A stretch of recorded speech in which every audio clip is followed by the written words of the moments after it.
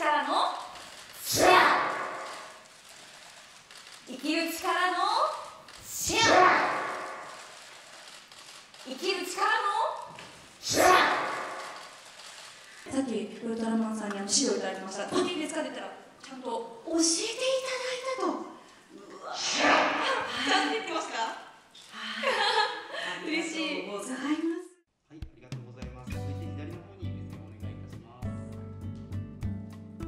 小さいですね。ありがとうございます。そして今日は素敵なこの白のお召し物ではい、私の勝負衣装はいつも白なので、あのバラエティ番組だったりとかいろんなタイミングで勝負の時は白を着るって決めてるので、はい。なんかぴったりな白を今日着ててそうですね。ちょっととしても白を着ているので、献血することで誰かを助けることができるってすごく素敵なことだなと思うのでそのキャンペーンに参加することができてとても嬉しく思いますいかがでしたか？私 TikTok でダンスをちゃんと踊ったの今回が初めてですね。なんかドラマの PR で TikTok を撮影したことはあったんですけど、こうしてちゃんと音に合わせて踊ってっていうのは初めてだったのでなんか TikToker さんとか結構憧れてたので ちょっとドキドキしました。嬉しかったです。初めて踊れて。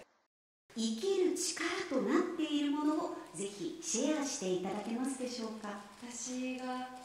私の生きる力になっているものはラジオがはい。生きる力になってるなと思って、聞いていてやっぱりすごく自然と笑顔になっちゃうというかラジオコンテンツっていうのは私の中ですごく生きる力になってますね。自分自身も、あの今朝 TBS ラジオの方で、あの朝のパーソナリティをさせてもらってるんですけど、自分自身も誰かの生きる力になったらいいなと思いながら楽しんで聞いたり自分も発信したりしてますね。移動時間だったりとか寝る前とかお風呂入ってる時とかいつでもラジオって聞けるのでそれはもう必需品ですね。それが生きる活力になってい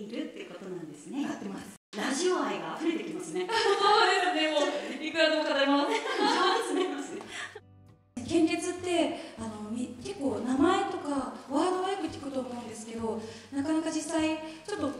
うん不安だなとか自分自身ができるのかなって不安に思う方もいるかもしれないんですけど16歳から献血することができてあの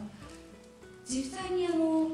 血を作ることはできないので誰かのその力を借りないと献血って賄うことができないのでなので誰かのために力になれたらいいなっていうそのちょっとした思いをぜひルームだったりとか献血バスに行く力として足を運んでいただきたいなと思います。私自身も誰かの力になるために献血ルームに足を運ぼうと思いますしちょっとウルトラマンもこうやってねいてくれますしみんなで生きる力をシェアしましょう。やるよっていうことですね。やろう ウルトラマンもやるよって言ってます。言ってますね。ありがとうござい